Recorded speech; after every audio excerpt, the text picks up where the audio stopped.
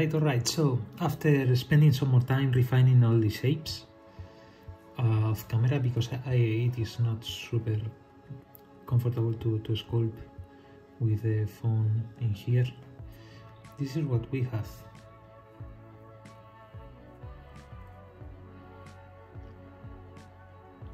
I managed to, to pull a, a, a smile, but super subtle smile in his face, which is showing confidence, but at the same time he's focused. He's not too old, but not too young.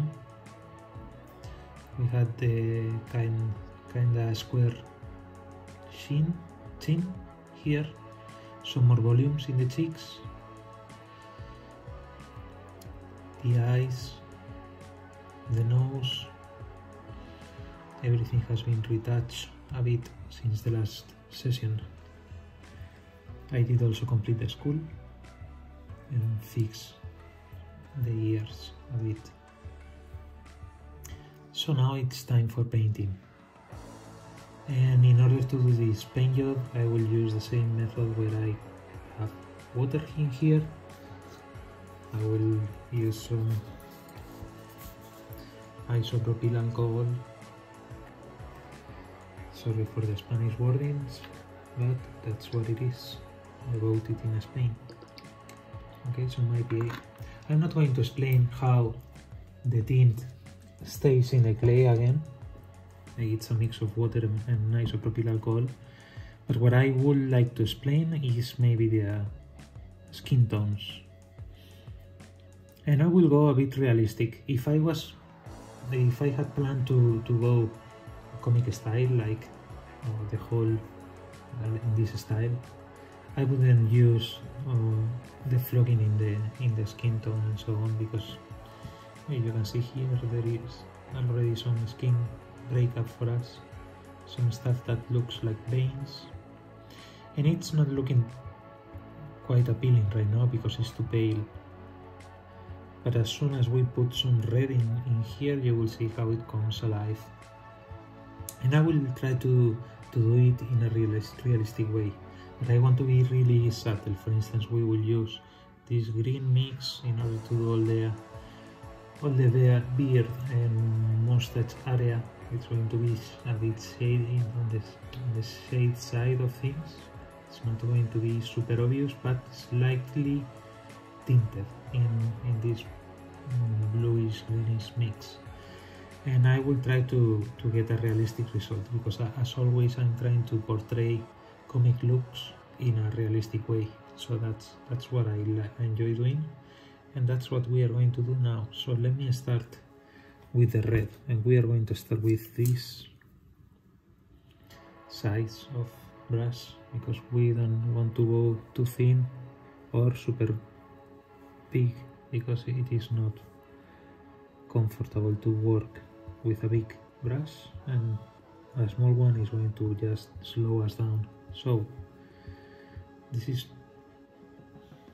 small enough for what we are going to do at the beginning then I, I will switch to a, to a smaller one which is this one for some fine work but at the moment we are staying with this one so we, what we need to do is to pick some of this isopropyl alcohol with the brush and then go into this mix of water and red that I have here. Let me show it to you.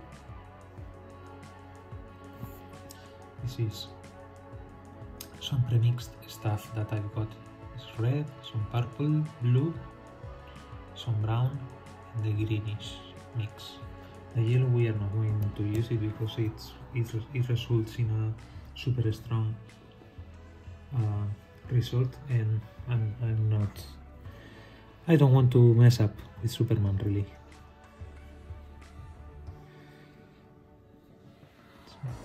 some water. You need to have enough water in the mix. Because the more water you have the more transparent the result is going to be or mm, and I I think that's providing me flexibility because I, I can evaluate where we are going without mm, going full throttling with the red you know? We can slow down stuff and really see what's happening and evaluate if we need more red or we are fine and so on. So yeah as you can see it's red. And I always start in the nose. I like to start tinting the nose first. Don't know why.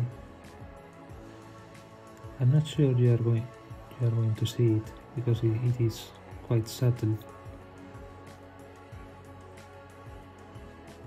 we just dab the surface like this.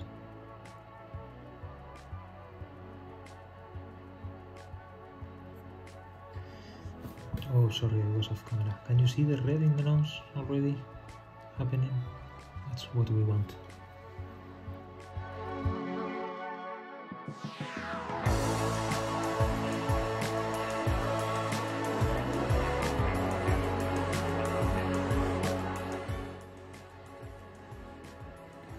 red is applied almost everywhere. Well not not everywhere but uh, whenever you have this uh, red color or red tone in your skin is because the the blood is heavily flowing in that area in the surface of, of that part of, of your face. So it's not in skinny surfaces where you are going to find the red but on maybe whenever you have have muscles okay big muscles. And then whenever you have fat uh, that's going to be yellow or base tone and in the bony areas you may also see some white yellow because of the bone seeing through somehow. And then you will have some blue as well in some shadow areas that we will put later on. I'll show you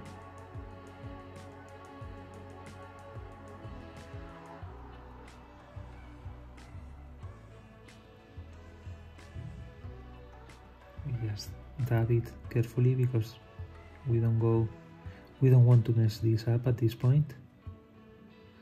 So we are going to be careful with the tinting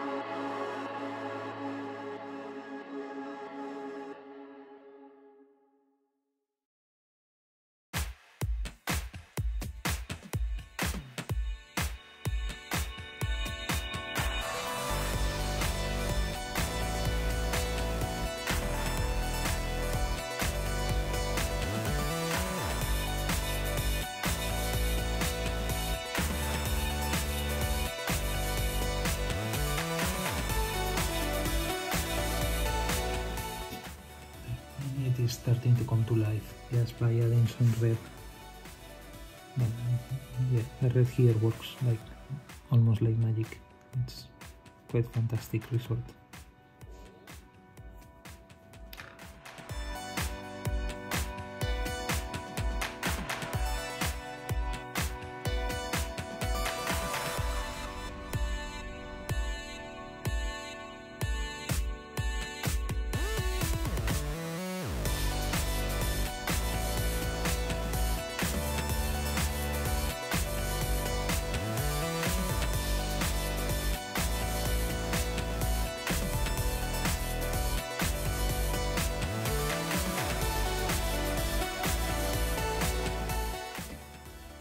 we will we will try the fine one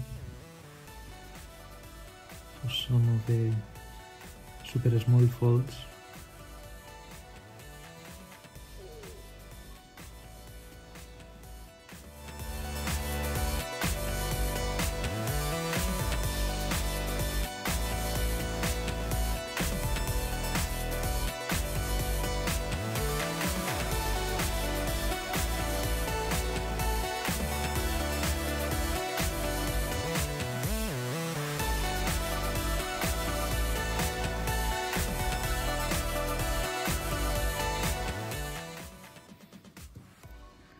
sometimes I will just go with some alcohol and clean up if I believe we went too far.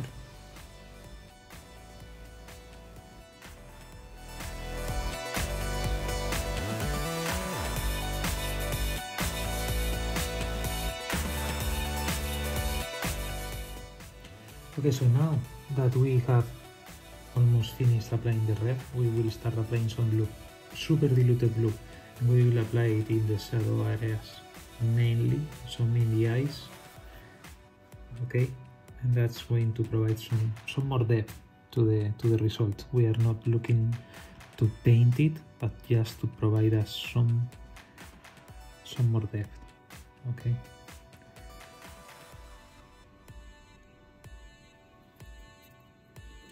I want more more water, more subtle. We want to go even more subtle there.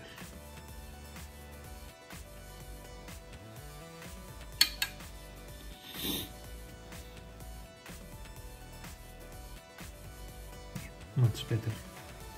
As you can see, see now we are barely painting there.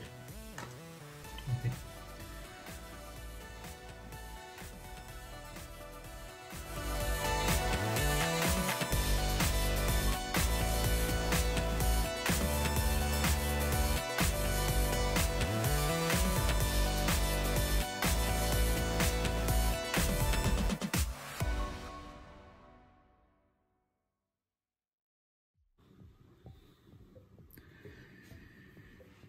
Okay we will use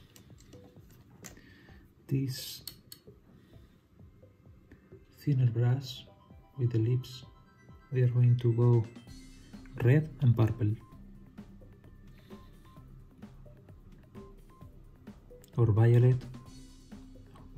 Between purple and violet that's where we are more or less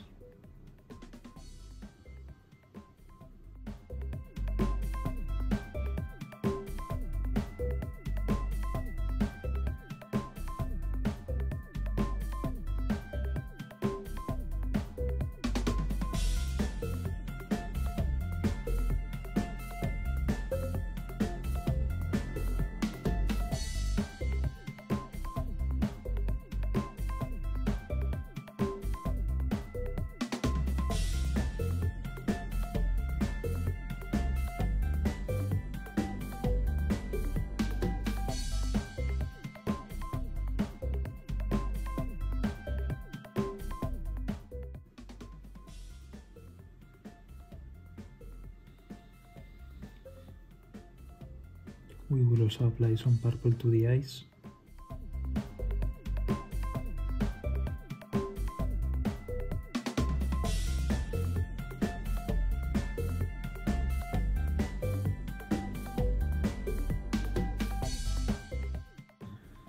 And we will even go stronger with red and purple with the fine brush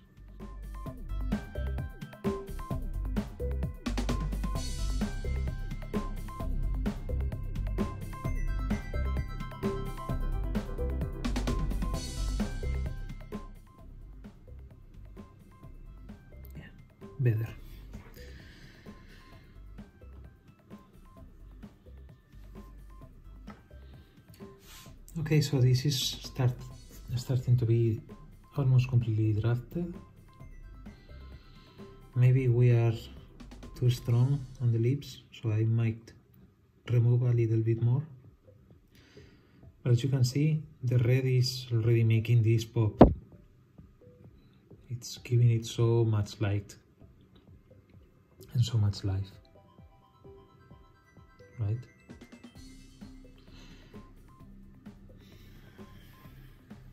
so let's keep on working on the lips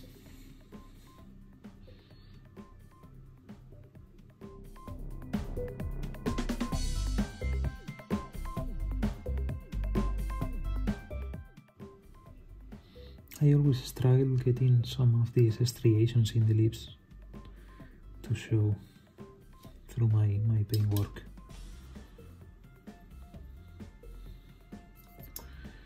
It is not easy, definitely not easy. They are so small. At least using this technique. Maybe with acrylics it's easier.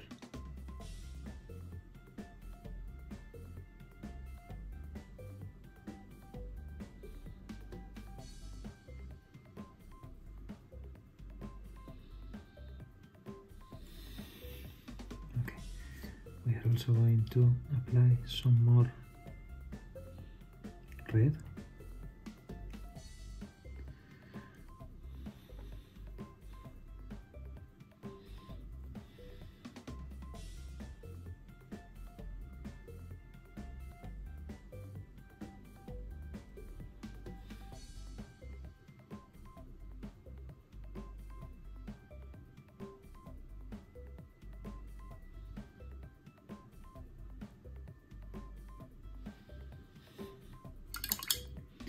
and now we will try to remove. Some red.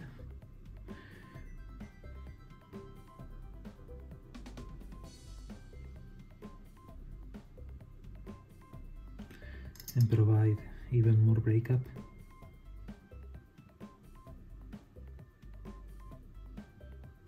Right.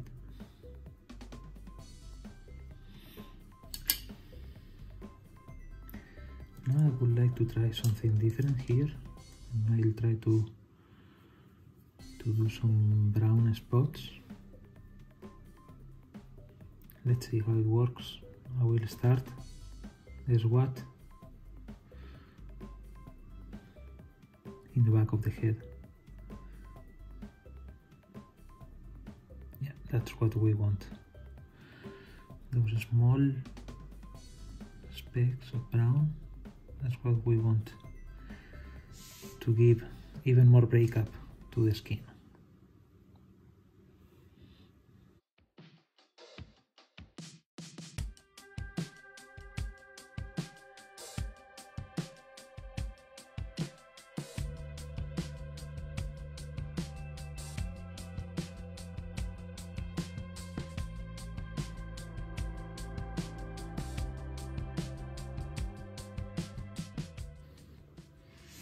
I'm not sure Kryptonians have irregular skin, but I want to give this guy proper, uh, human properties. Okay, so now back to the big one. We are going to try and apply some of this super diluted green mix to simulate a shaved beard, beard and mustache, but a shaved one like shave in the morning you know but still it, the the hair leaves this kind of shade in our faces guys you know what i mean? Even if you are fully shaved you still have this shade kind of shade and we are going to achieve this effect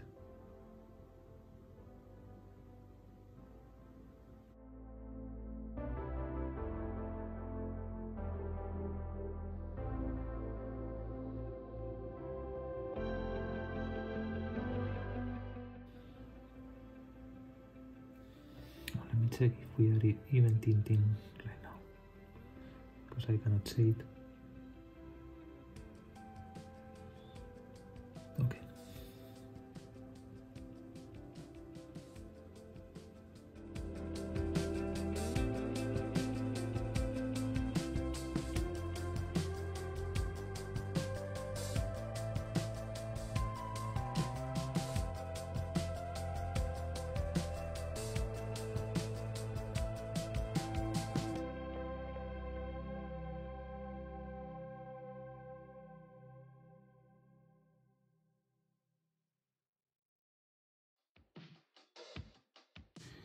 Now we are gonna pick some blue.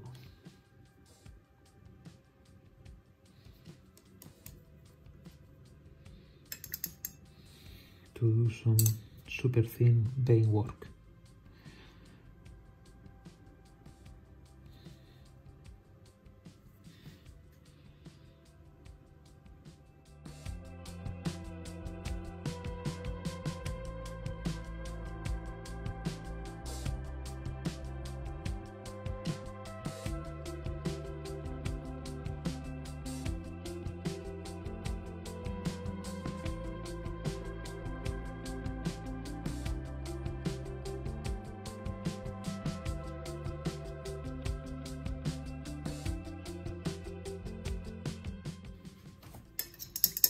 So we are almost at the end of chapter 2.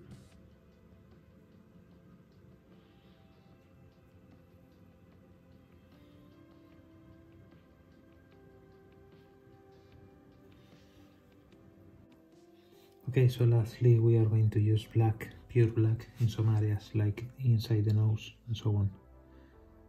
We have it over there. It's pure black, you will see. Whoa, whoa, whoa,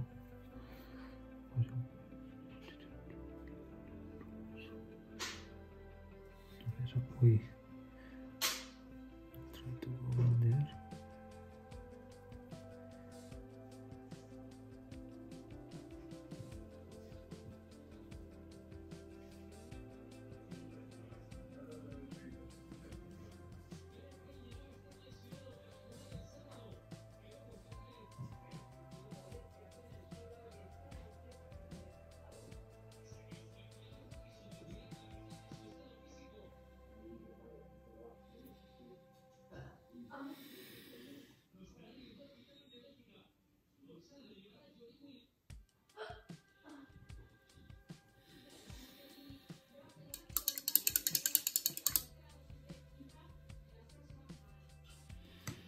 Okay, we shall bake this and I'll be back with the result.